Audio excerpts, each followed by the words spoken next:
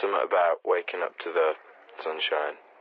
Uh, that's probably a massive cliche, but I do like that. It's just a feeling of wanting to kind of get out out of bed and get kind of be outside. You're just kind of chilling in the sun for a bit. It's actually not that bad.